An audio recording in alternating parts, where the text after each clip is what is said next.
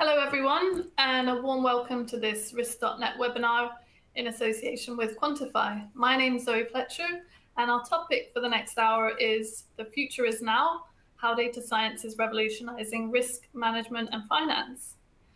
Data science is playing an increasingly pivotal role across capital markets with the potential to transform decision making in investment securities.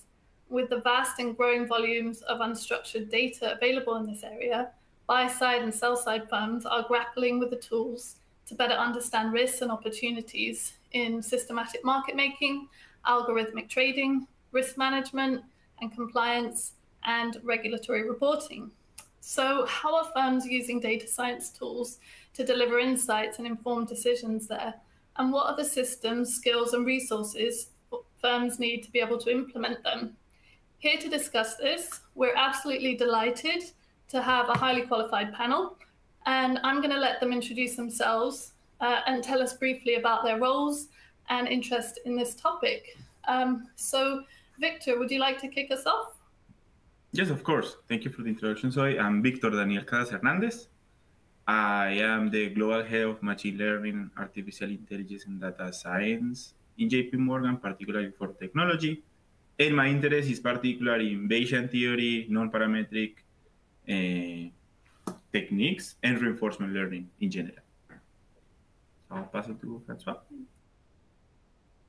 Francois? Hi, everyone. So my name is François Mercier. I'm a data scientist for Citi. My interest is generally speaking about applying machine learning uh, in finance, uh, but currently with my mandate, I'm applying machine learning and data science more for uh, market surveillance and also for electronic communication surveillance. Uh, thanks. And Michael?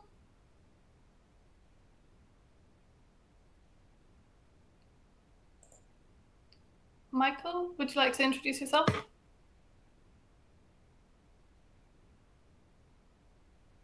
We can't actually hear you. Um, I'll just go to Alexei for, for a moment. Um, could you introduce yourself and then we'll come sure. back to Michael? Sure. Good afternoon, everybody. My name is Alexei Tchernitser. Uh, I'm in charge of product management here in uh, Quantifi. Uh, we're a software provider specializing in risk analytics and uh, trading. Uh, most of my prior experience is in uh, credit trading, both on the structured and flow side, but I was always very interested in data science, specifically in machine learning applications in finance. Thank you. Sorry. Thank you. and then um, as we can't we can't hear you at the moment, Michael. Um, so uh, Michael Natusch is the chief science officer at Prudential, uh, and hopefully um, we'll we can we'll be able to hear from him uh, shortly. Um, but in the meantime, a warm welcome to you all and uh, to our audience as well. And before we begin, just a quick reminder to our audience that you can submit your questions for the Q and A um, via the platform at any time. Um, we'll pick up as many of those as we can in real time uh, and then follow up with any others during the Q&A discussion at the end. Uh, and we'll also be posting some poll questions as we go. So please do take the opportunity to get involved. Uh, I wanted to start by exploring how data science is changing decision making in the context of investment securities. But I think it would be helpful if we first define what we mean by data science in this context. So, Francois, I wonder if we can come to you first with that one. Uh, how do you define data science in this context? Yeah, sure. Uh, just before to answer the, uh, this question, just uh, the usual disclaimer uh, to state that uh, what I'm going to say is simply my own view and not the one of Citi and I guess it's the same for uh, for the rest of the panel. But uh, to come back to the question, which I think is a very uh, interesting question, actually a very hard question to answer. I think there are different ways to to define data science, and I guess it depends from where we're coming from.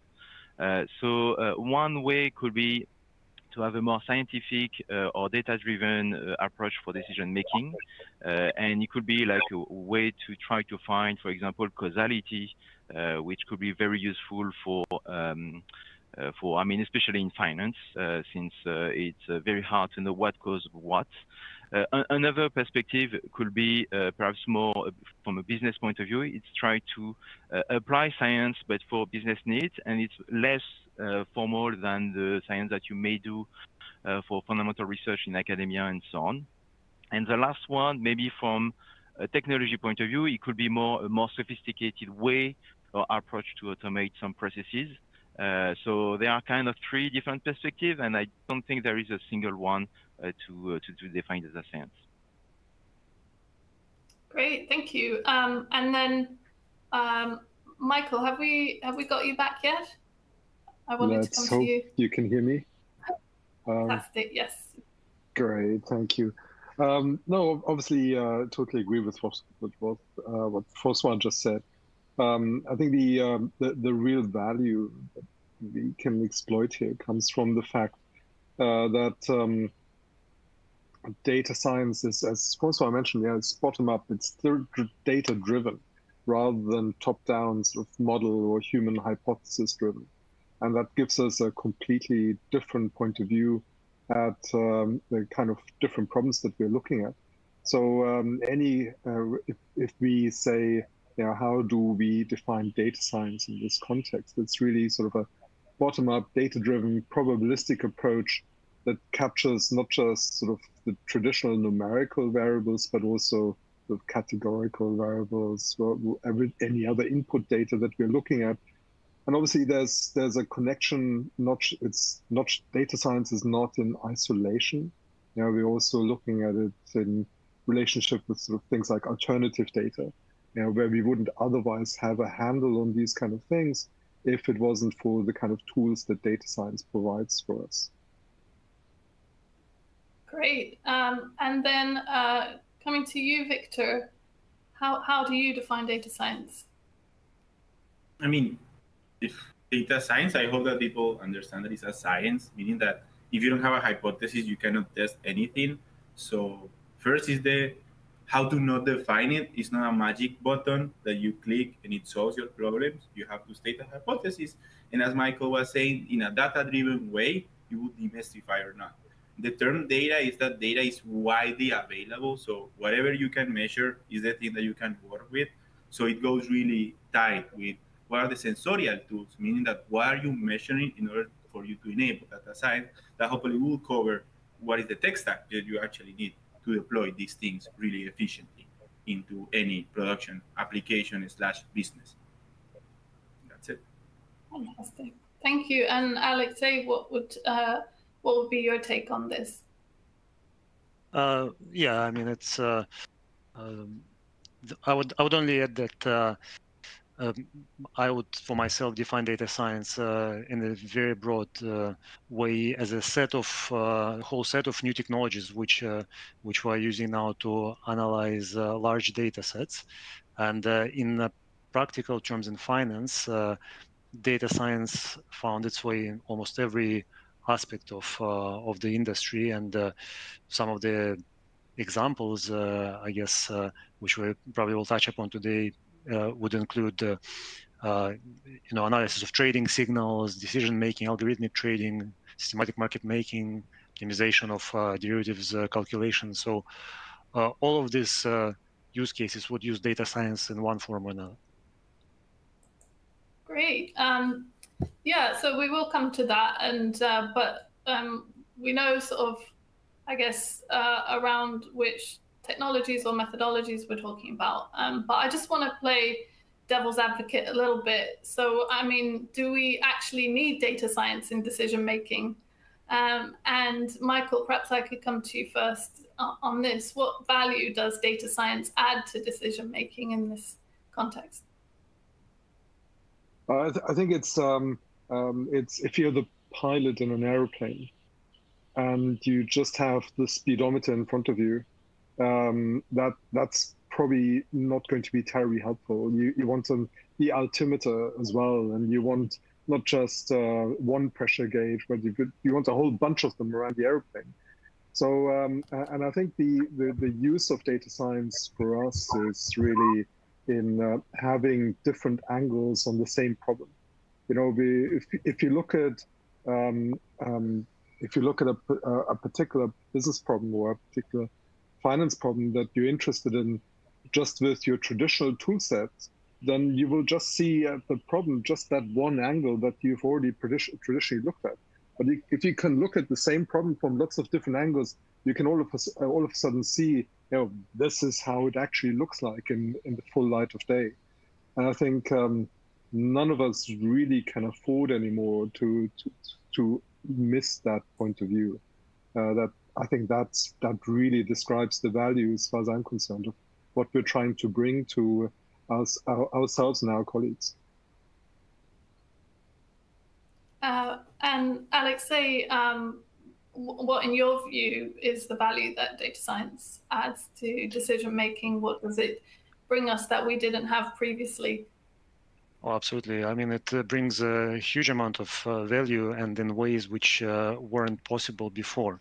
Um, while it is true that uh, you know a lot of the models and theory uh, behind data science has existed for a long time, and uh, we didn't used to call it data science before. Like as an example, regression models, for example, have been around for a long time, but uh, it is only recently that we combined it with uh, the uh, computational power, which uh, is exponentially growing, and this is a relatively new phenomenon. It's, it's growing uh, uh, very, very fast. And so now, combine combining the theory, some new and some traditional, with this new technology, what we have now as a result is that the ability, our ability now to analyze structured and unstructured data uh, is limited only by the computational capacity, and uh, that uh, that is um, you know increasing in in an explosive way.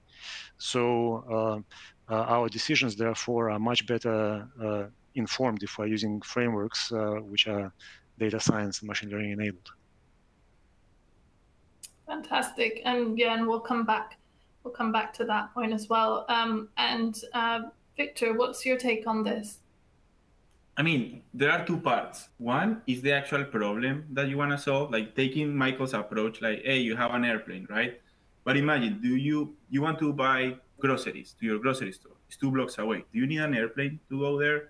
Probably not. So if you are developing huge tools and using bazookas to just travel one block, you're overcomplicating the problem. Now, if you actually think of portfolio management, imagine that, hey, I want my Sharpe ratio to be infinite like basically the money making formula. Since the problem is so open ended, that's when you throw everything you have at that problem. And that's when data science, artificial intelligence, machine learning, there are techniques where no theoretical solution is possible, but approximation solutions are the ones that you need will help you drive the value. Hey, look, my Sharpe ratio from X strategy went from 2 to 2.5. We know that that's a huge amount of of alpha that you capture just by doing machine learning. And now those are the things that do materialize as value because the problem has inherent value also to, to achieve. So I hope that people can think of first, is the business problem enough of it ended to be machine learning applicable? And then you apply all the, the techniques because without a business problem well defined, you can throw all the machine learning that you can do and it literally won't have any any results from it. And one last thing is that don't think this Skynet basically it won't replace us. No, no. We are human assisted from AI, meaning that AI is here to help us do better things instead of replacing us because there's some sometimes some fear and so people kind of neglect to adopt, but it's not not neglect to adopt. Imagine it's like your cell phone. It's just another tool that you will use to do your work a little bit better. So that's a value added, like another hand. Would you be like to having two heads and four hands? I say, yeah, I might be more efficient. Okay, think of AI in those terms. Fantastic. Um, we do actually have a question from the audience. I don't know if you want to touch on this, Victor, before uh, before we move uh, on to Francois. But um, I, I, think the audience here is also playing a bit devil's advocate and saying, um, you know, he's heard from data scientists that using data science to predict markets yields no fruit and is a waste of everyone's time. Would you agree with this or, or disagree? I mean, uh, if when, when you go to the art of the possible on prediction, the thing that people normally try to predict is price because it's the thing that you observe, right? But if you accept that pricing is not the thing that you want to predict, but you want to predict intention, or you want to predict hidden variables, that's when the problem gets really interesting. If you know hidden Markov models, hidden Markov models are really well known framework that you use proxy variables in order to do predictions. Imagine this: you don't want to predict the price, but you want to predict direction.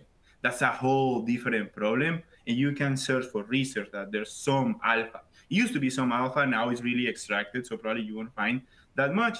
But the new work, for example, in Fidelity, using inverse reinforcement learning and reinforcement learning combined, where you predict the intention of a portfolio manager, and you don't accept that the portfolio manager is perfect. You say, yeah, you are a human. You make mistakes either in execution, in portfolio optimization, but there's an intention.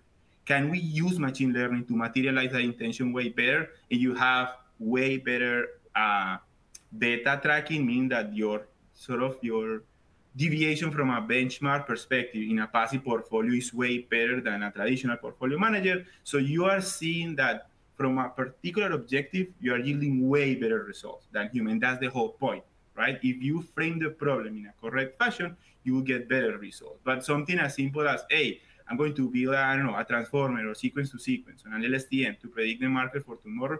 If that's so, Yann LeCun will be filthy rich then you have other people like the godfathers of AI. They won't be doing research. They will be enjoying Ferraris and yacht mansions and, and just spending their money, right? Why? Because price hopefully is contain enough of information that you cannot predict. But the hidden variables is when you can do some some interesting things. And if I can expand a little bit on, it's actually JP Morgan work where we, we use deep hedging, which is one of the well-known that we have, is how can you quote or how can you price derivatives that are more obscure than the actual normal derivatives, meaning that illiquid derivatives. It's not so uh, common to do that uh, for a, let's say, a desk really often. But if you read this work, machine learning is helping you to price things in obscure markets. So there's a lot of things going on there. Great, thanks, um, Victor. And then coming back to you, Francois, um, I guess on the original question of, you know, what value does data science add to decision making? And if you wanted to add anything to what Victor said there um, in response to the audience's question. Yes, sure. So for me, I think we need to think like, okay, the best intelligence that we've got right now is still the human intelligence by far. Uh, like despite all the what we say about AI and so on, but it doesn't mean that it's based at everything, and there are some weaknesses of uh, the human intelligence. The first one is that we can we cannot handle a very large amount of data. So uh, since like we come back to finance and decision making, uh, we a human will be very good by following let's say uh, two uh, securities and, and, that's it. But if we want to go through the whole universe of securities, you cannot uh, have humans uh, to track everything. So you need to have like an automated process and data science approach are usually the most advanced one uh, in terms of the performance. So it's one of the uh, uh, one of the added value. Uh, also, we need also to um, usually we need to make progress, and to make progress, we need to measure it. And the measure is always coming from the data, and so we have to to to to get some data-driven approach for that. Uh, and and the last one is also still to come back to the human weakness is that our intelligence it's not rational that you could have in reinforcement learning and so on. Uh, we do have like some bias due to evolution or whatever it is, uh, and those bias make uh, make us to not really uh, we we cannot trust ourselves at 100 percent. Uh, so like especially in finance, so like all the behavioral finance, for example, uh, will exploit this idea that actually people are, are doing uh, something which is not rational. And so having a data science approach can be like, okay, a way to detect potentially some bias that we may have. Uh, and it may help uh, to have a complement to what a human may, may think. Uh, and to come back also to the question about like, okay, why it is hard to uh, to generate alpha. There are different ways uh, uh, to, to answer that, but one is like the finance, unlike trying to predict cat and dogs, uh, is always changing. A cat and dog doesn't change much, uh, to be honest. So it's really easy to have a supervised learning approach to uh, to try to classify uh, if the image is a cat or a dog. Uh, but in finance, the world of two months is definitely a different world than right now. So which bring a, an issue of, okay, the way that we usually, when we talk about machine learning, we usually talk about supervised learning. And so we test on a specific uh, a test set, but this test set is not the one, is not the same distribution as the one that we've got in the real world, real world a few days later. So there are different approach uh, to try to tackle that, but it's still definitely on the research side, like uh, such as a continual learning or in reinforcement learning as well. Uh, but it's it's yeah, it, it's that's why I think data science is very important in decision making, especially in finance, since the real world is so uh, so adverse to you. In fact. Fantastic. Uh, thank you so much, Francois. Um, we're actually now going to turn to our first poll question. I understand this has been live for a little bit, so I think that um, you know I'll just read it out uh, for everyone um, but then we can probably get the results uh, up fairly quickly. So the question was, to what extent do you agree that data science delivers better decisions than has been possible in the investment security space previously? Um, and so, yeah, similar to the question that I've asked you, and um, perhaps we could have the the results on screen there. Uh, yeah, great. So it looks like um, the the majority agree um, that it delivers better decision make, uh, decisions than previously. Um, so um, perhaps, um, Francois, I could um, come to you for your reaction on that. Is, is that what you were expecting? Uh, yes, also because it's biased, I guess, in terms of the selection of people uh, in the audience. I guess people will attend to uh, thinking that they are interested in data science. I guess so so could be also one way to to see it. Um, but yes, I mean, uh, generally speaking, I think it's uh, it's something which uh, it's just my my belief is like it makes market more efficient. Uh, so there are a lot of debate about is market efficient or not. It's just an approximation. But there is one thing that I think it's very uh, aligned with at least what the society wants. It's to related to climate change. So I know like in ESG, so that's what I'm talking about. Uh, like it's a one ESG, uh, it's one way to try to price externalities which will come from uh, economic activities and so on. I know there are greenwashing, and no, nothing is perfect for, at all with that, but it's definitely one one thing which with the help of data science, because to have ESG factor, you basically need to uh, to parse new data, especially text data in terms of disclosure and so on, uh, to try to uh, uh to create those those factors. But it's one of the things to try to align financial market pricing with what the society wants uh, at the end. And this is one thing also that I'm really interested in. And, and which uh, which I think is beneficial for all market participants and actually for the society as well. Great, fantastic. So yeah, some of the benefits there of data science in, in decision making for market participants. Thanks for that. Um, and so we've talked about data science in theory, and now we come to the more substantial question of how data science is being applied to decision making in the in the investment security space. Um, I think Alexei touched on this earlier, but um, Victor, I'd like to come to you first and ask you about the sort of the art of the possible, as you so wonderfully put it earlier. What is your experience of use cases in systematic market making, um, perhaps algorithmic trading, risk management and compliance, or regulatory reporting? Yes, uh, I mean, it's a broad plethora of things that are applicable. So, as I quoted before, deep hedging was kind of a before and after because it's a challenge to Black-Scholes. We know Black-Scholes is kind of super well known for pricing derivatives. But now it's like, hey, you don't need the partial differential equation anymore because these things are so good as approximator functions that you can use them without feature engineering and you will get to the same uh, Greeks, like that's the representation of risk for us in the derivatives space. But when you go into risk measures like CVaR, that is a little bit more robust, as, as we know why than the VaR, you get way better risk measures on the actual hedging with transaction cost you can see those things and you can read the paper and go into the details. So it's kind of puzzling like hey you don't need the analytical approach because these things actually approximate more. But the question is why? Is because if you rationalize how you model mathematical stuff you make assumptions right? And as Michael was saying since this is data driven there's no assumption as the data. Like look this is the measurement, you figure it out.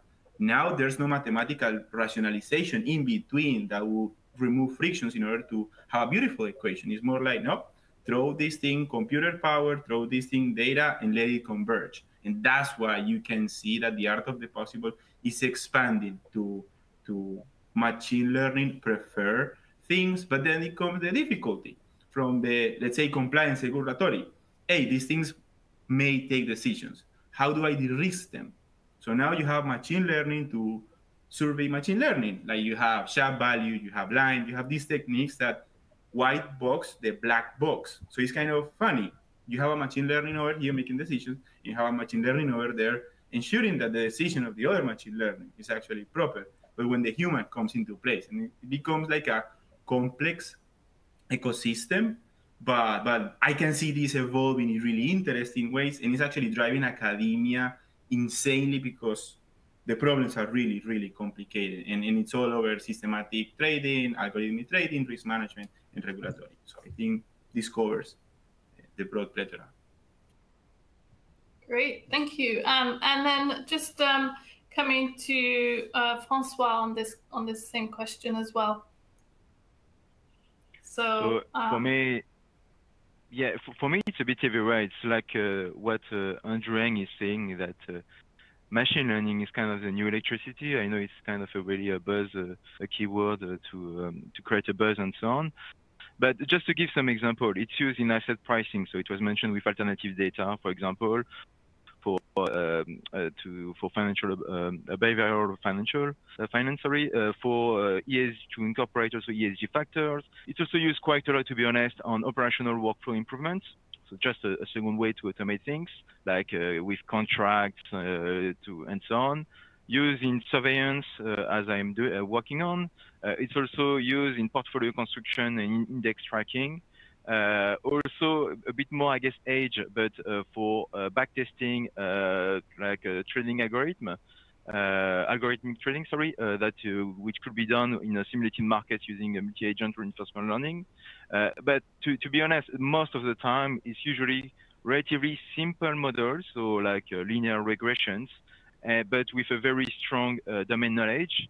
And my guess uh, is that where it will be uh, the most useful for investment securities, it will be for causal uh, inference uh, in order to try to have, to take better decisions. This will be my guess. Fantastic. Uh, and then could I come to you, Michael? And what's what's your experience of of these um, tools in in which use cases? Yeah, maybe if I could pick up on um, one of the points that Francois just mentioned, which is sort of more on the surveillance side. Um, and, and, the reason why, why, why I picked that one is because it's sort of uh, distinctly different from, you know, uh, we've mentioned between us a couple of times things like uh, sort of uh, regression and all these kind of things. But just to look at it from a sort of conduct, conduct and behavior point of view, you know, there's something around anomaly detection, can I see amongst uh, the, the, the, our colleagues and their you know daily or hourly, um, weekly, monthly kind of behavior patterns, any kind of outliers that are significant. You know, it's uh, it's that that kind of understanding. And traditionally, we would obviously um, uh, we, we would obviously apply a whole bunch of rules and then check whether these rules are being violated. And our colleagues in risk and compliance love stuff like that because they love defining tick boxes that we can then either uh, tick or, or leave blank. Uh, but actually, what we really want to understand is what is the stuff that we are not yet thinking about. You know, that's much more interesting, and and uh, you know the kind of techniques that are sort of uh, home to our profession are really useful for that kind of understanding. Fantastic. Um, and Alexei, would you have anything to add here in terms of what you're seeing uh, uh, firms uh, using these tools in? Sure. Uh, uh, sure. Um, I mean, we have uh, a, a, range of different clients who who use uh, um, the data science and machine learning techniques to apply to many different uh, in many different ways to uh, to solve problems that they're facing. And some of them actually do have uh, to do with predictive pricing even though there was some skepticism uh, skepticism uh, about this but people do use it to to generate signals for liquid and also more importantly for liquid securities where you perhaps don't have that much price data available that is where it's uh, very useful. Of course, there's algo trading, and uh, uh, we have clients applying applying it to less liquid spaces, for example, like municipal bond trading and various relative value strategies, so which are based on uh, artificial intelligence and uh, machine learning data science. Uh, but for me personally, one of the most interesting applications is what I think we see quite a lot from the sell side and the banks trying to automate some of the functions that uh, uh, traditionally were done by uh, by human traders, especially the market makers, where where we have quite a programmatic sort of approach to what needs to be done in order to respond to an RFQ. And uh, this is a task which uh, most traders do many, many times a day, but it's definitely a task that uh, a computer can do as well. And um, emulating this behavioral aspect of a human market maker that is uh, uh, the one which uh, I kind of like the best in terms of the applications. Fantastic. Thanks, Alexei. Um, and um, we're going to um, move on to discuss uh, about data science tools. So we've discussed what data science can do for firms in this context, but how do they use it and make all this data work for them? Um, so actually, let's first look at the growing volumes of data and their significance. Uh, and Francois, could I come to you first with that? So, how has the explosion of data driven the need for new tools in data science? So I guess it's like uh, everywhere else. At least it, I, I, think it's more in it, anyway the, the tech industry which is driving uh, finance rather than the reverse. Maybe before it was the case, uh, but it's mostly like uh, my experience. It's like at the beginning, like 10 years ago, it was all about big data, trying to store the data to make it uh, uh, possible to query the data to extract what we needed and so on. Uh, now it's more about the compute, so more definitely having like access to GPUs, which is needed for uh, for for deep learning, for example, or for other uh, other machine learnings. And and what we see also is like in terms of uh, in, in the software, so it's not necessarily talking for for finance, but the the stack which is used it's uh, being more and more mature, more following like a software engineering type of uh, typical um, uh, uh, timeline. So initially it was low level uh, framework with let's say PyTorch or um, or TensorFlow, Theano, and so on, and now it's more like high level a deep learning framework with PyTorch Lightning or Hugging Face, which come with one issue that I guess we will talk a bit later, but how we manage to cope with all of these uh, these changes because they are very hard to. Uh, uh, it's very hard to follow all, which is uh, uh, all the new tools that we we've got. But uh, yeah, that's really my answer. Thank you. Um, and then coming to you, Michael, on on the same question. I, uh, I think so, it's sorry uh, uh, it, it, on on the on the tool side. I, I, think it's not just about the tools, and obviously there there's plenty of uh, you know, tool sets available, but it's also about how we deal with those tools, and it's about the kind of maturity that we bring to um, our tool usage. And I think Foss already mentioned you know some of the disciplines of software engineering I think that's really important. It's very easy for us to tinker and um, you know be uh, uh, write snippets of code here, there, and everywhere in, uh, in notebooks, uh, as opposed to you know rigorous testing, rigorous documentation, um, you know rigor rigor to the way in which we conduct our own experiments and evaluate them. I think those are those are important disciplines that have to go together with um, with the tooling. Great. Um, and Alexei, could I come to you on this? How has the explosion of data driven the need for new tools in data science? Uh, yes, of course. So um, the uh, data science now is uh, uh, basically penetrated all aspects of uh, financial industry and other industries as well. And there are tons of tools available, high level and low level tools. And I think what's what's very important here, and partially what is driving this uh, uh, this uh, evolution and progress here is that the tools need to be interoperable and easily integratable. And uh, what uh, we are trying to do is to integrate uh, the data science into our products, as well as make our tools that we available we make available to our clients data science friendly and expose them in a way which would make easy for users to take them and plug them into some uh, open source frameworks and existing uh, uh, frameworks for data science and and machine learning. So we have a range of tools for that, and these are actually very popular, especially ones which expose our libraries through Python and. Uh, that's I think what needs to happen is uh, is the tools need to communicate with each other in a, a easiest possible way. Then we'll see even more progress. Uh, great. Um, I don't know if you saw the question from the audience here. Um, I thought you might like to touch on that. Um, so uh, someone says that it's very easy to find open source tools to throw at machine learning, um, to throw machine learning at data, but then what actually matters is the interpretation of results and domain knowledge experience. Do you agree with that? Yes, Would you agree with that? I agree. Uh, sorry. Yeah, I think we're all in vi- we're all in violent agreement with that statement. Uh, right. Everybody can tinker and uh, play around with it, uh, but it's uh, it's how you actually interpret and what you really do with it. Fantastic. Um, okay, and then um, perhaps coming uh, back to you, Victor, on on the on this question of of how data has driven the need for these tools.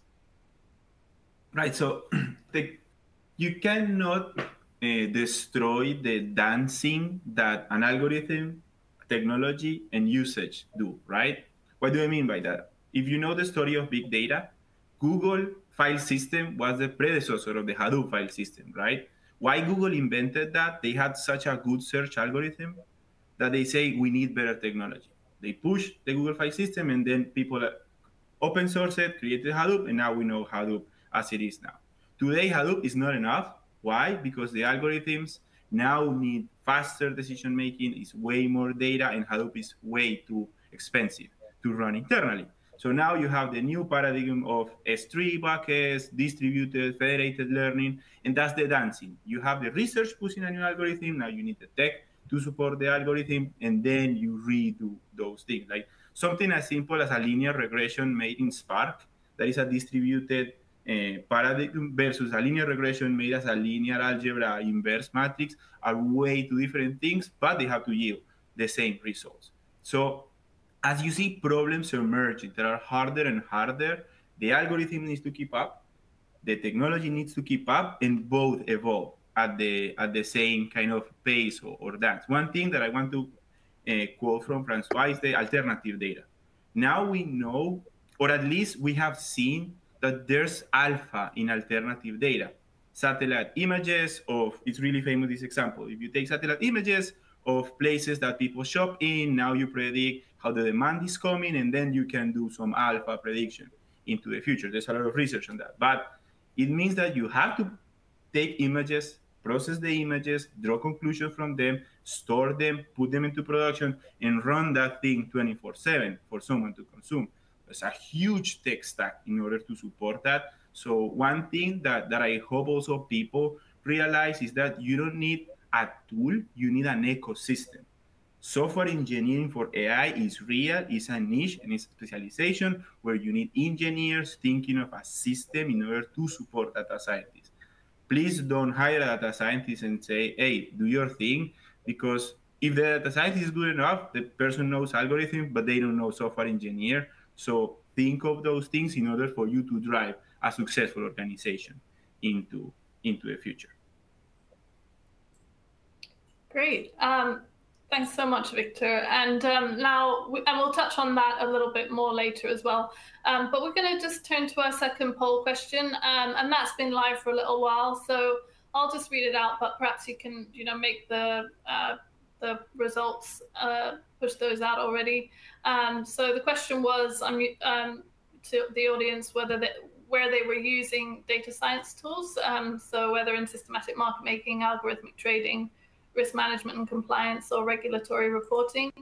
Um, and it looks like um, people are using these, these tools predominantly in risk management and compliance. Um, I don't know if that's sort of a reflection of our audience here.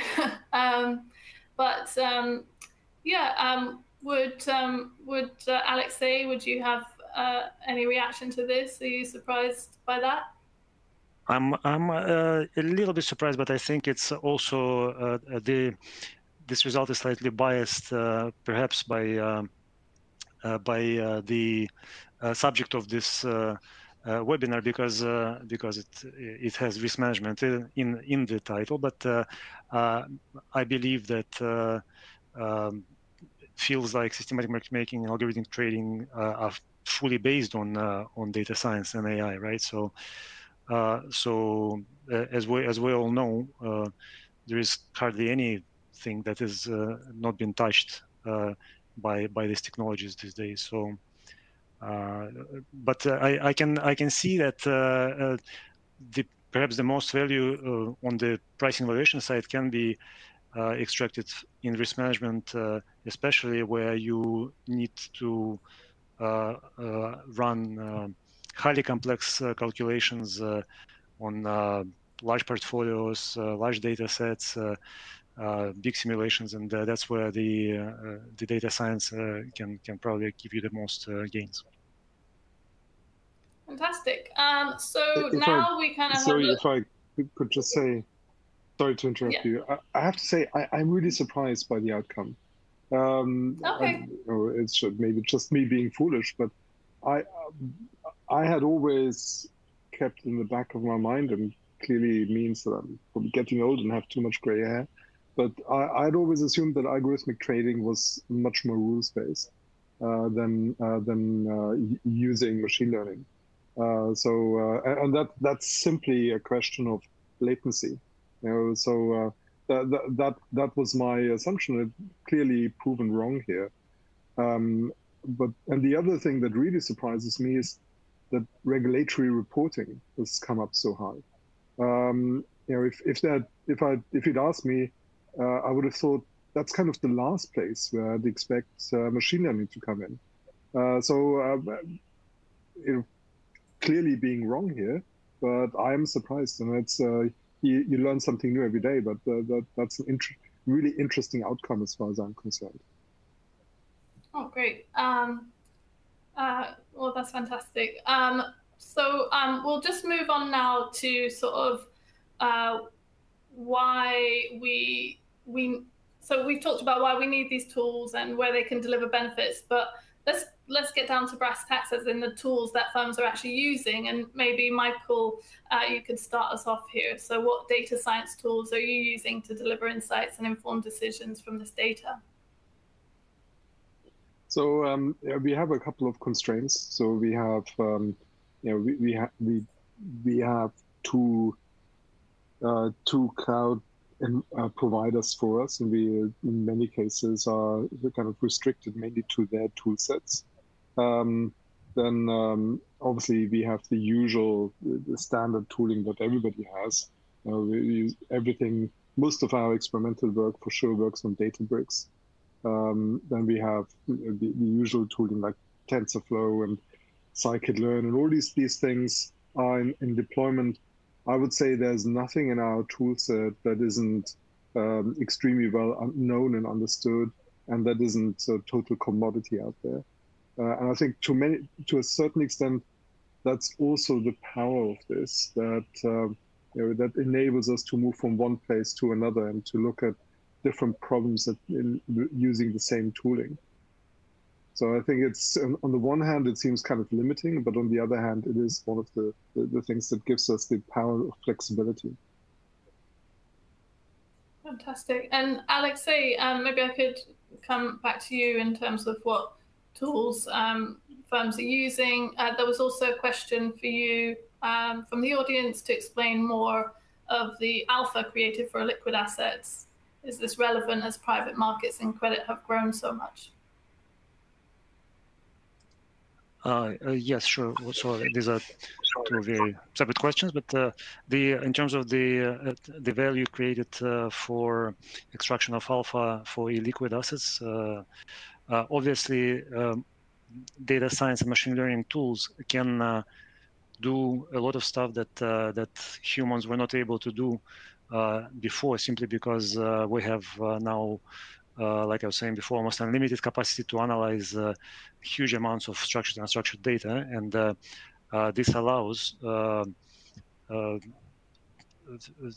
establishing establishing connections between factors which would not, which a human would not be able to even think about. But a machine learning model, for example, can analyze massive amounts of, uh, let's say, financial uh, factors uh, such as price histories, economic data, fundamentals, etc., with combine it with the non-financial factors like Twitter chats, for example, and other behavioral type data, and create predictions or evaluations uh, based on that.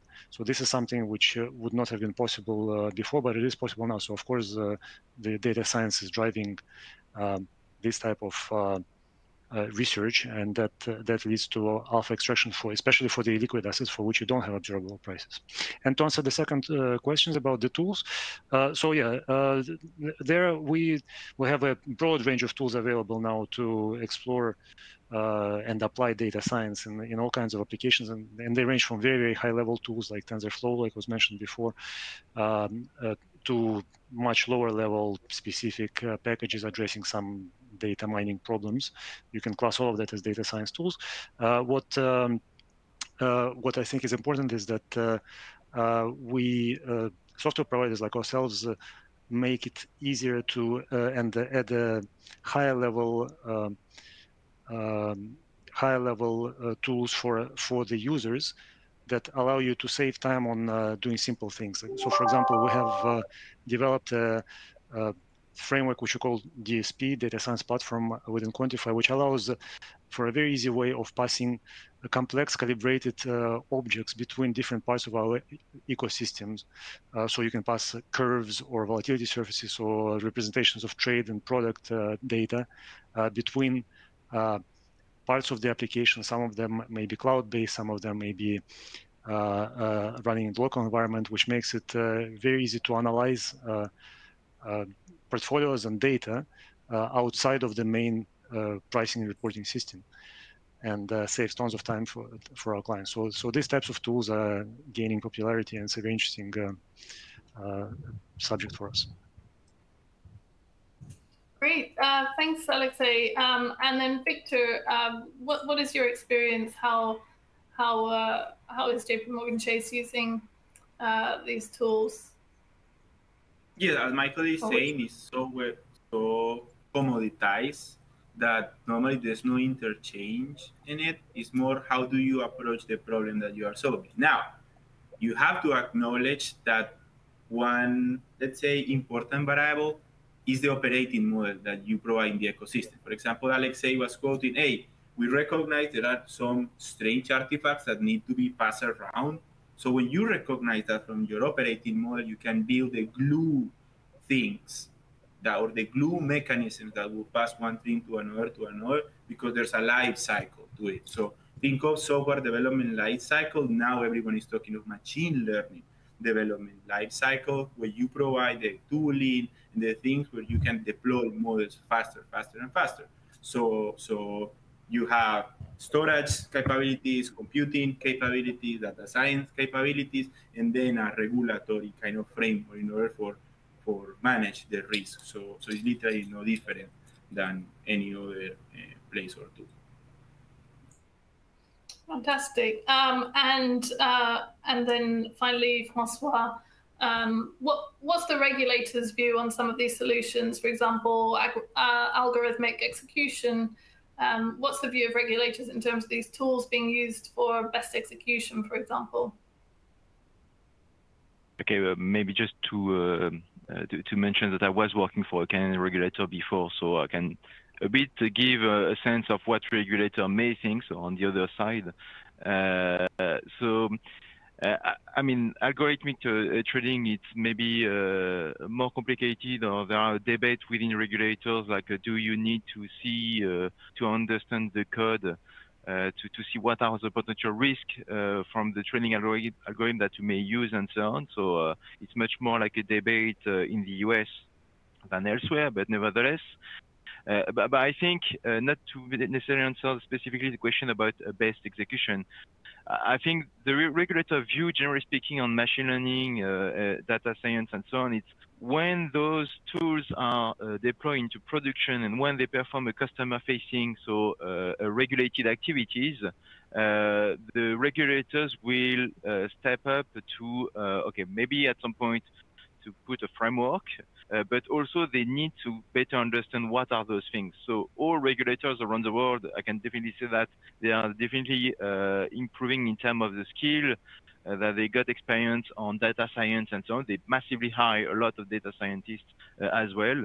Uh, keep in mind that regulators usually do have a lot of uh, a lot of data because they are able to have access to the full uh, market uh, overview, unlike unlike any firms, even very large sell side firm.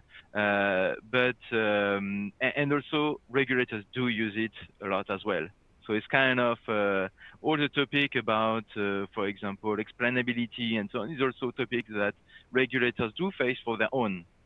Uh, so it's, I guess, a question of everyone, the industry overall, over, uh, um, I mean, everyone is like trying to make progress on this. What, for example, is the best ex explainability approach that we could have? Uh, what, uh, so what will be the best execution in the case of, uh, for example, when you do apply more perhaps machine learning based solution and so on. So I guess it's a broad answer to your question. Great. Um, and now we come to perhaps like the trickiest question for firms on how they can implement these tools in their organization. And Victor, I'd like to come back to you on this as we sort of started, or you'd started a bit of a discussion on the kind of ecosystem that you need to support these use cases. So how do you introduce or begin to implement data science or AI or machine learning tools within your firm? Right. Uh, one thing that you should recognize, or at least from, from a personal perspective, is that when I don't know something, I allocate what I call the risky allocation to it, meaning that you should understand that it's a new capability. If you haven't done it before, it can fail. And if you read Gartner reports, you know that 97% of AI projects don't go to production. So you're basically whatever you expect from a value multiplied by 3%, and that's the expected actual value that you are going to yield from the risky dollars that you invest on it. Now, how can you make the most out of the experiment that you are building is recognize that it's a capability and as a capability needs a full support system meaning you need software engineers you need data scientists and you need orchestrators or pms or whatever because we also have to agree that data scientists we love to think and meaning that when we think we keep thinking and thinking and thinking and someone say hey hey watch it. Let's time box this and let's deliver. So, so that's something that you have to be aware of. And ideally by POCs. Hey, we have a problem that high level, we can attack by data science. Can we make it happen? You get into production, now you build what Google calls MLOps 1.0. So MLOps 1.0 is how can you actually conceptually create an idea, create a model, deploy it to production, and support it. You know how to do that. Okay, now you learn how to do that in your ecosystem because I guess every company has their own technical uh, particularities. Now, do you want to scale it? Because it's also a question. No, I don't like it. I'm enough with software engineering, or I will outsource to any SaaS system. But you say, no, you know what? I really want to invest in it.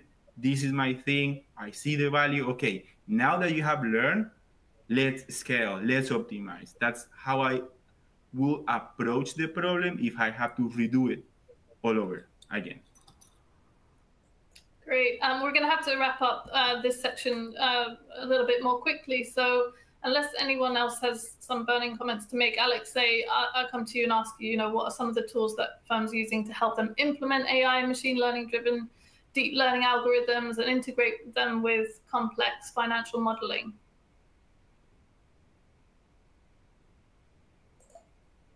Uh, yeah, so uh, so like I uh, like I said, uh, uh, there's a huge uh, range of tools available, and depends on on the level of abstraction that you want to to get into. You have tools which allow you to put together a machine learning model in a few lines of code, and you have you have tools which are basically programming frameworks um, that that you can write your own models uh, in if you if you wanted to. But uh, uh, some of the tools that that I think the industry needs are the ones that that allow easier integration of the existing technologies and methodologies with the modern frameworks which employ data science and machine learning. Great, uh, thanks, Alexei. And uh, so now we've sort of dealt with the crux of which tools, um, where and how, but what about the human factor and how is the role of humans evolving along with the advances in data science? Um, and perhaps I can start with you, Michael, and um, and ask, you know, how are the needs of the current market and advances in data science driving the change in skill sets and job uh, functions required by these firms or by your firm? I, I think there's um, there's a there's a couple of things that that uh, sort of uh, in, in in play. So uh, uh if you've listened actually to the introductions that people gave to to this hour here, um, you you there's already a whole bunch of techniques that that that were mentioned that are kind of much more novel and and are rising to prominence. I think sort of traditionally we've we've very much been regression type people um, you know, other other sort of supervised uh, uh, techniques. Um, I don't remember who it was, but one of us mentioned reinforcement learning earlier, and, and I think that that's become a much more accepted and interesting tool set uh, that that that or skill set that that that we that we want to deploy. So that that there's there's definitely a dynamic there. Um, somebody posted a comment earlier on but then deleted it on the large language model um, uh, that, has been in the press over the last couple of days. So those are those are definitely areas that are also of interest. There's a lot of a lot of things happening, and I think if, if anything, the, um, the, the the rate of change in our profession is just staggering. So the the single most important skill set that that we're really looking for is to stay sharp and stay at the uh, at the leading edge of um, all these developments that are happening out there. Great, thank you, Michael. And um, and Francois, just to wrap up here, would you have anything to add on on what the challenges are for firms in terms of deep, deeper expertise needed in their workforce? I, think it's what Michael just mentioned at the end. It's just learning, actually. So it's not just about machine learning. It's actually human learning and to upskill, uh, to to upskill uh, the existing uh, workforce.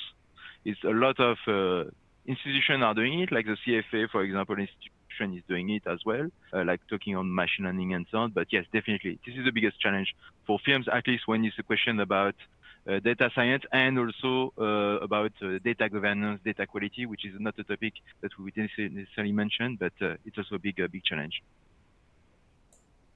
Great, thank you. Um, we've got the, the results of the third poll question.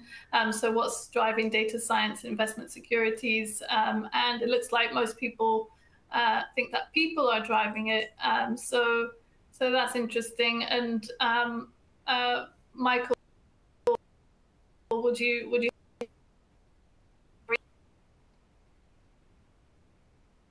Sorry zoe you you were just breaking up as, as you were talking. I, you asked me to comment on the poll. Um, yeah that's right so on the results me... there. So we have 47% of people uh, of the audience think that people are driving data science. Um, yeah I, I think so uh, and it, it comes back to some of the the questions that have been asked in the chat uh, on and off. I think people are obviously people like us are the, the sort of the main proponents of it, uh, but people are also humans are also our main opponents, and it's uh, the people that our people that we need to convince of the value of what we do by you know um, showing small pieces of value iteratively that we can then expand and and uh, and extend across uh, uh across our areas of activity. So uh, I think the people element is really important, um, and to a certain extent, I hate to say that, but to a certain extent, we're all salespeople of our skill set, um, and, and, and, trying to still trying to convince um, everyone that what we're doing is actually the right approach. Um, so uh, I'm fighting a daily fight against sort of people who think stochastic models are the the bee's knees and uh, not realizing that the world has moved on. So um, I, I definitely take the poll uh, as as a really good uh, reflection of what I'm thinking too. Fantastic, and uh, I'm sorry that's all we have time for. Uh, today. And um, it only remains for me to thank our illustrious panel for their insights and thank Quantifi as our sponsors of this risk.net webinar. And of course, thank you for listening. Uh, you can find more on this topic at risk.net. Goodbye for now.